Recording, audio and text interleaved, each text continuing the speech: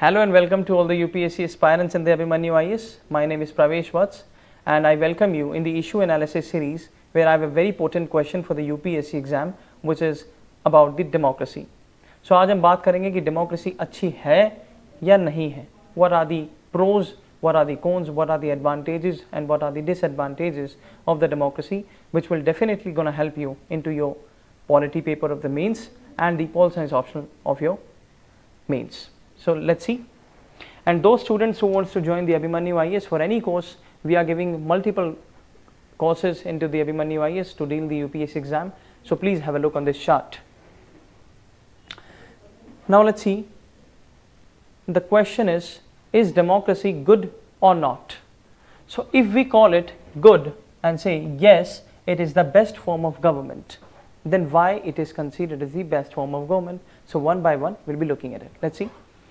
It is the highest form of government, addresses the central challenges of politics, which is the existence of rival views and interests within the same society.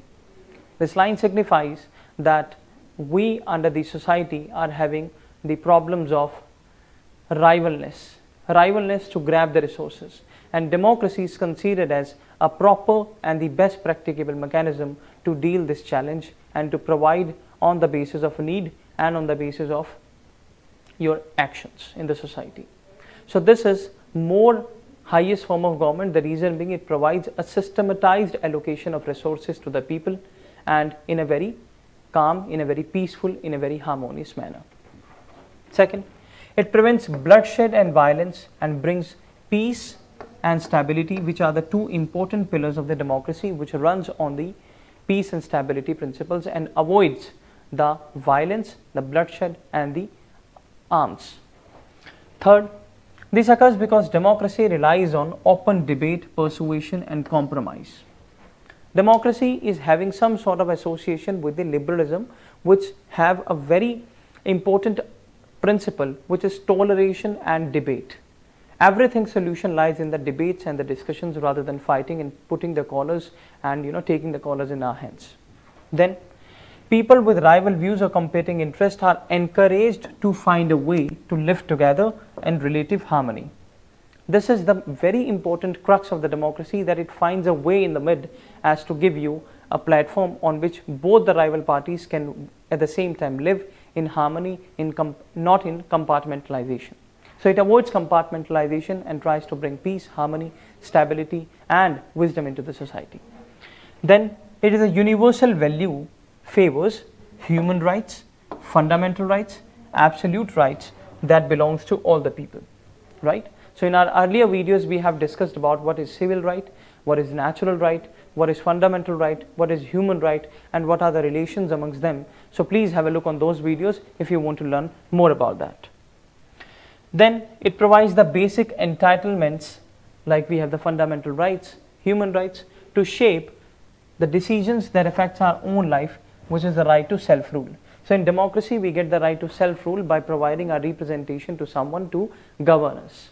Then it prevents tyranny of the government, it prevents tyranny of the legislative laws, provide, prevents the arbitrariness of the executive actions of the governments, and it checks, it puts a check on them and more effective constraint on power other than democracy. So there is no more sort of democracy which we have apart from it which can prevent so much effectiveness on the constraints on the government. Then because democratic rule operates through a mechanism of accountability which ultimately allow the public to kick the rascal out. So this is a very important term those students who have the UPSC Pol Science optional and the polity part please remember this term to substantiate your answers of the optional Pol Science as well as of the polity in the GS2. So it kick, it provides the accountability as a principle on which the people counter questions their representatives on a time and are able to kick the rascals out or the rascals those politicians who have not worked they done have who have not done their work properly and have cheated their electorate. Then democratic societies are therefore not only the most stable societies in the world but also the societies in which citizens enjoy the widest realm of freedom. In democracy, only like the US, like the India, we have a number of freedoms, we have number of sense of enjoyments, we have number of platforms where we can see the happiness and the wisdom. But if you consider some of the Southeast Asian countries, some of the African countries, some of the Central Asian countries, you can draw an image as to what is the importance of freedom and how the freedom is enshrined and and you know enjoyed into India and into the democratic countries in comparison of the non-democratic countries. The people's life in those countries are you know really hell and if you compare with the countries like India and the US where the democracy is fulfilling its interest. Now if we look at a different pillar or different side of the coin where we are considering democracy as not best. So what could be the reasons of calling democracy as not best form of government? Let's see one by one. It is being biased in the favor of conflicts and promotes disharmony. It is criticized by a number of philosophers like Karl Marx we had who says that in the government, government is a machinery of the of the bourgeoisie or the capitalist class which takes the interest of the capitalist class or the dominant class in the society whether we have the caste, whether we have the region, whether we have the communal interest, so on and so forth. So it is criticized because of this reason that it, at major point of time it promotes the interest of the dominant section and it creates disharmony into the people. Then because democracy pr promotes electoral battle between the opponents who are encouraged to condemn one another rather than what should have happened in the democracy is the proper countering questions of the of the rival parties rather than throwing the chairs and the chappals on each other's which we often see into the democratic countries. Exaggerating their faults and denying their achievements. It is also often seen into the democratic societies and into the current democratic societies that if some political party or a particular party has done some sort of good achievements, still their achievements is criticized by the parties who are their rival parties. So this is the fallout of the democracy we should say and I, I will write this fallout of democracy where the, the achievements are neglected to a large extent by the rivaling interest. Then democracy in the developing world like India may make things worse than better as we are seeing that less productivity of the Indian parliament, less productivity of the governance, less productivity of the debates, less productivity uh, in the, elect, in, in, the election process. So these are the major fallouts into the Indian democracy or the developing democracies.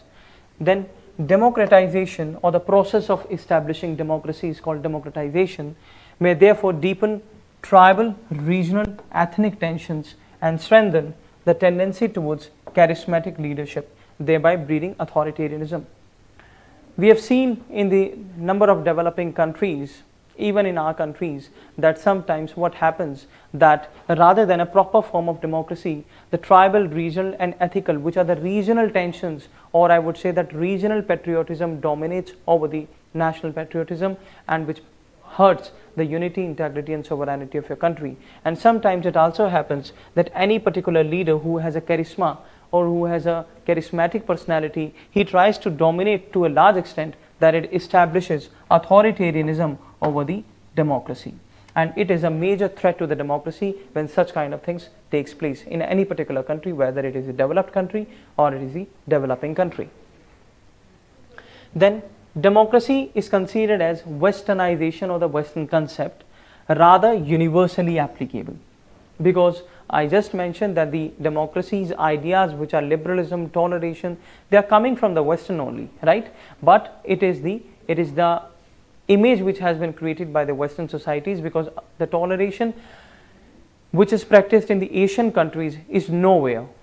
If we, if we see the history of India, which, is, which has seen a number of invasions by a number of dictators, so we can see that who, who the country apart from India will be so much tolerable. So we are democratized from the since the ages, right? So this is the criticism which is the which is given by the Asian values and the Asian political scientists and the Asian political philosophers. that democracy is considered as a westernization by the Western philosophers. So this is a blame on the Asian values. As it is based on the values and assumptions that they betray the cultural biases of Western heartland, example, individualism, right? Individualism is to promote and to favor the individual interest over the societal interest. Because in west what happens? That the materialism and individualism is has such kind of profound impact on the society where the individual is more considered as superior than the society.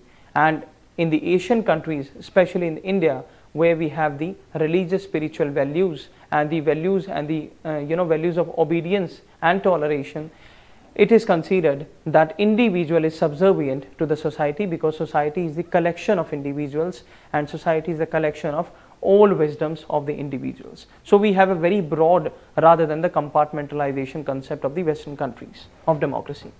Then western style democracy it spread sometimes imposed and always encouraged to the known western world and it is considered as a form of cultural imperialism Again and again I am reiterating the same thing that those students of the UPSC Pol Science optional and the GS2 please have a look on these important terms which I am telling here because these are the crux of the exam. Cultural imperialism. So democracy as a form of government is also a tool which is being used by the western countries to establish to their cultural imperialism or I would say the hegemony of the west on the entire world in the form of spreading the values of democracy as per their own conception, as per their own demand in the form of cultural imperialism. And the last thing is in democracy, wisdom and experience tend to be ignored because wisdom, which is called the ultimate happiness, and the experience, which is also considered as a positive value, tend to be ignored because the view of well educated minority are swamped by less well educated majority which we see into the elections process where the number of parties comes into the power not only on the not on the basis of rational and not on the basis of educated sections view but rather than by the collection of illiterate and a majority of the illiterate views and they form the government and they dictate the policies in the form of their own interest only. So these are the major fallouts of the democracy which I have just mentioned to you. I hope you understand all the meanings, all the terms Thank you so much. We'll meet on the next day with the next topic for the UPSC mains and the prelims. Thank you so much.